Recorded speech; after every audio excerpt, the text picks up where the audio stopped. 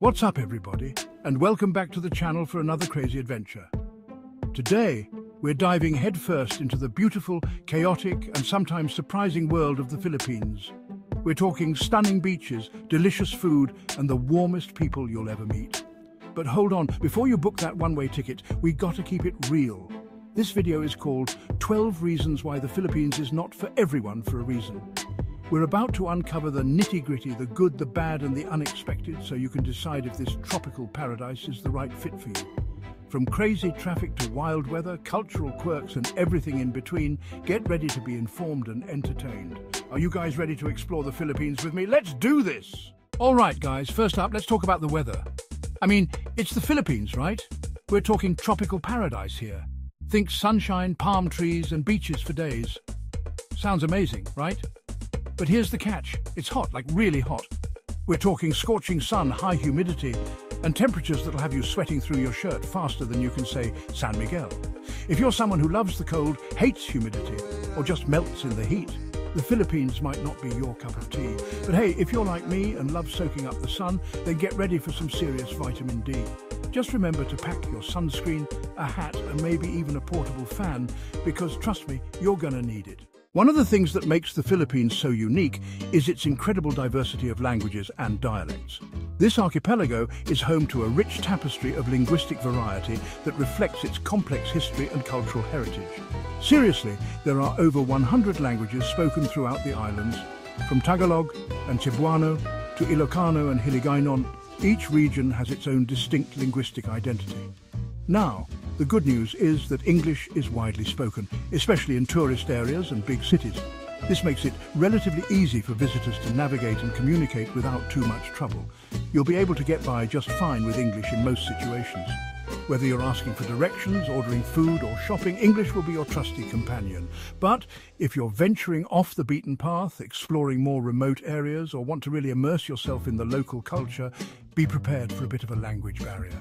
In these less touristy spots, English might not be as prevalent. Don't worry though, the Filipino people are incredibly friendly and welcoming. They are known for their hospitality and will often go out of their way to help you, even if there's a language gap.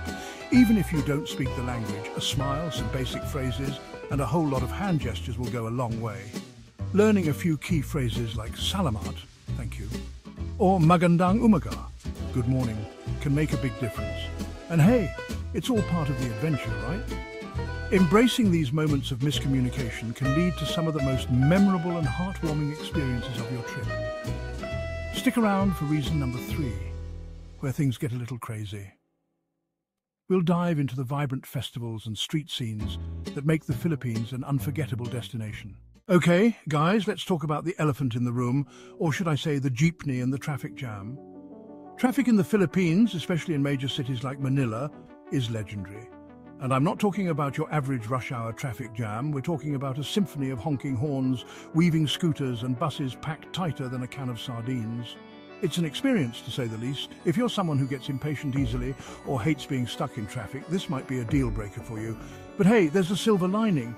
The traffic is a great opportunity to people watch, soak up the city vibes, and maybe even learn some new Tagalog curse words from the frustrated drivers around you. Just kidding, maybe not.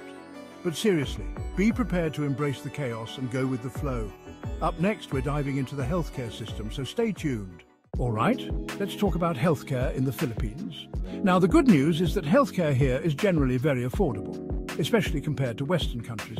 You can find quality doctors, specialists and hospitals without breaking the bank. However, the healthcare system here is a bit of a mixed bag.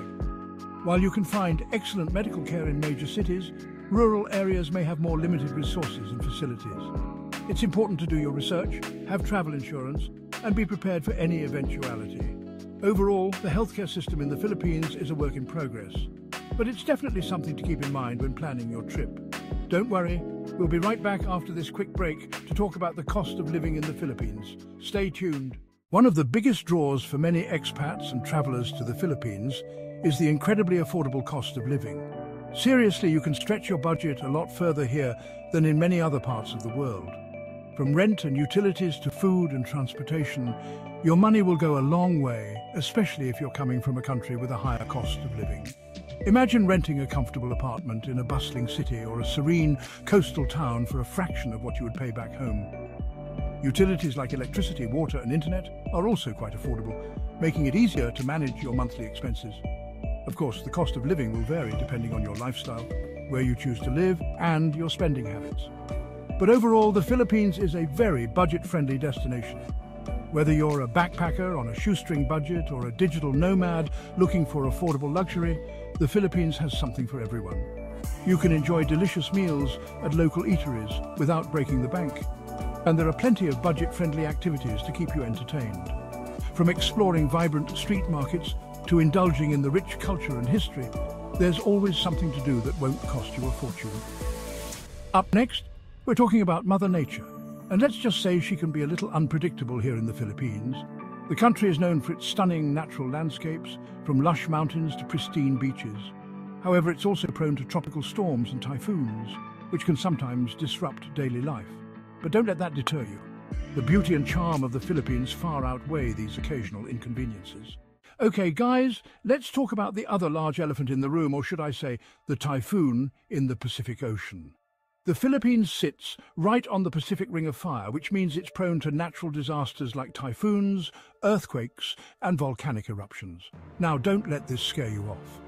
The Philippines has a robust disaster preparedness system and locals are used to dealing with these events. However, it's essential to be aware of the risks, stay informed about weather updates and have a plan in case of an emergency. Remember, safety first. And hey, if you do experience a typhoon, just think of it as an adventure. Just kidding, but seriously, stay safe out there. Up next, we're diving into the fascinating world of Filipino culture. You won't want to miss this. The Philippines has a rich and vibrant culture shaped by centuries of history, tradition and influences from Spain, America and other Southeast Asian countries.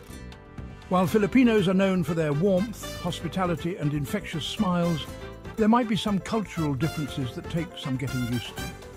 From the importance of family and respect for elders to the concept of Filipino time, which can be a little more relaxed than what you're used to, be prepared to embrace the differences and go with the flow. Remember, when in Rome, do as the Romans do, or when in the Philippines, do as the Filipinos do. Up next, we're talking about the bane of every digital nomad's existence, internet speed. Okay, let's talk about the internet in the Philippines. Now, in major cities and tourist areas, you'll find decent internet speeds and connectivity. However, if you're planning to work remotely, rely heavily on the internet, or just like to stream movies without buffering, you might face some challenges. Internet speeds can be inconsistent, especially in more rural areas, and power outages can happen, which can be frustrating. But hey, there's always the option of finding a cozy coffee shop with good Wi-Fi, or embracing the opportunity to disconnect for a bit and enjoy the beauty around you. Just be prepared to be patient, flexible, and maybe download your Netflix shows in advance, just in case. Up next, we're getting a little political, so buckle up. Like any country, the Philippines has its own political landscape, and it's a topic that can evoke strong opinions. While we won't delve into the specifics here, it's essential to be aware of the current political climate and how it might impact your travels. From protests and rallies to changes in policies and regulations, it's always a good idea to stay informed and be respectful of local customs and sensitivities. Remember, you're a visitor in their country, and it's essential to be mindful of that.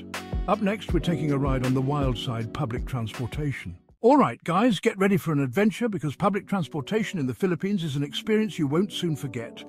From the iconic jeepneys to tricycles, buses and even boats, there are plenty of ways to get around and it's all part of the fun.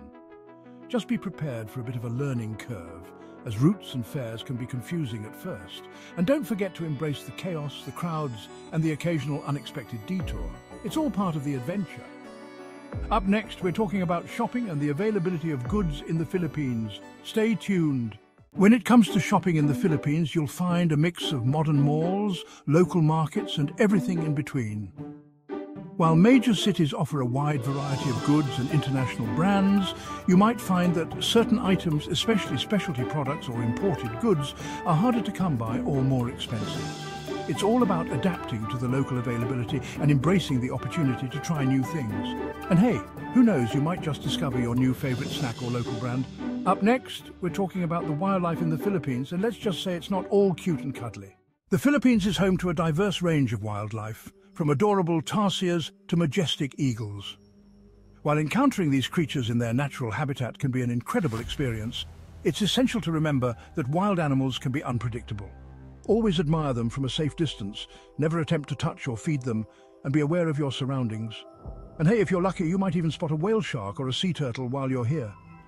Just remember to respect their space and let them be wild and free. That wraps up our 12 reasons why the Philippines might not be for everyone. So there you have it, guys. 12 reasons why the Philippines might not be for everyone. From the intense heat and traffic to the cultural differences and potential for natural disasters, this beautiful country definitely comes with its own set of challenges. But hey, for those who are up for an adventure, embrace the unexpected and are willing to step outside their comfort zone, the Philippines offers an incredibly rewarding experience. With its stunning natural beauty, warm hospitality and delicious food, the Philippines has a way of capturing the hearts of those who dare to explore it. If you enjoyed this video, don't forget to give it a thumbs up, subscribe to the channel for more travel adventures, and let me know in the comments below if you'd ever consider visiting the Philippines. Until next time, keep exploring.